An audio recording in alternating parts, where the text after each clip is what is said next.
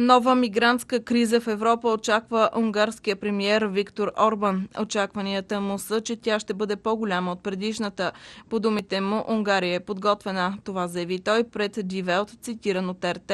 Орбан заяви, че по южната граница на страната в момента са разположени достатъчно военни, за да се справят. Той е сериозно притеснен, че напливът от мигранти през 2015 година е само началото и милиони хора ще залеят Европа за кратко време за пореден път. Орбан предполага, че този път те ще бъдат предимно африканци. Премьерът настоява за създаването на нов орган от вътрешните министри на страните от Шенгенската зона. Те трябва да работят за овладяване на нов мигрантски поток.